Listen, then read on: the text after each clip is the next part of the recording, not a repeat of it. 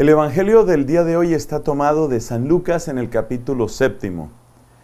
Y el énfasis quisiera que en esta ocasión estuviera en el verbo ver. Lo que nos cuenta el pasaje es una escena absolutamente conmovedora, muy propia para las reflexiones de este año de la misericordia. Una mujer viuda que tiene un solo hijo, lo tiene que ir a enterrar. El muchacho ha muerto.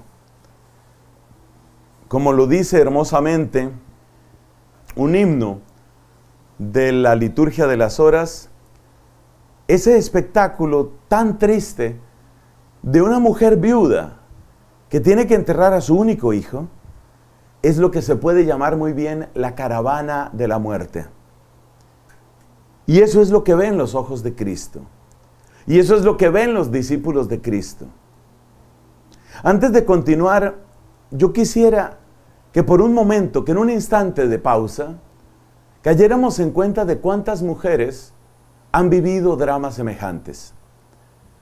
Pensemos en cuántas mujeres, por falta de los centros de salud, por falta de buenos hospitales, por falta de medicamentos oportunos o por otras razones, han tenido que entregar a la muerte lo que era un fruto de vida, es decir, a sus propios hijos.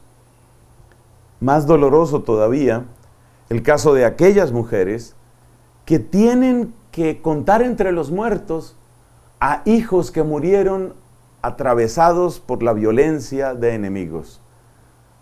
Es la situación de un país en guerra. Es la situación de la violencia que se ha vivido, por ejemplo, en nuestro propio país, aquí en Colombia. Aquí se habla de la viuda de Naín, porque Naín fue la pequeña población donde esta escena se presentó. Pero preguntémonos cuántas viudas y cuántas mamás, por ejemplo en Colombia, igual podríamos decir en México, en El Salvador o en otros sitios, ¿cuántas mujeres han tenido que enterrar así a sus hijos? Hijos muertos en un combate absurdo, por ejemplo, un combate de la guerrilla o un combate de los paramilitares. Y para esas mujeres, pregunto yo, ¿ha habido ojos como los de Cristo? Esas mujeres han podido encontrar una voz robusta, bella y sobre todo santa y poderosa que les devuelva la oportunidad de abrazar a sus seres queridos. Muchas de ellas no han tenido nunca esa oportunidad. Y hay algo que tiene que conmovernos más. Muchas de ellas ni siquiera saben si sus hijos viven o no, porque están desaparecidos. Yo conocí de cerca el caso de una mujer que tuvo un hijo en el ejército. Su hijo pertenecía a las fuerzas militares aquí en Colombia. En alguna emboscada o lo que sea, desapareció el hijo. Yo conocí esta historia hace algo así como unos 18 años.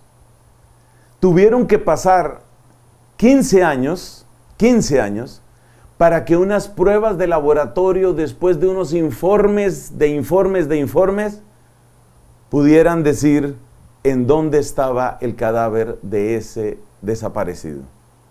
Es decir, que esta mujer no solamente tuvo la privación de la presencia de su hijo, ni siquiera tuvo un lugar donde llorar su ausencia.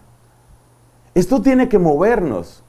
Es decir, la mirada de Cristo, que detiene su rumbo, que cambia su plan, que se deja interpelar por el dolor. Esto tiene que tocarnos a nosotros. Nosotros no podemos seguir de largo. No podemos pasar de largo frente a tantas mujeres y tantos hombres que están pasando por esta clase de experiencias.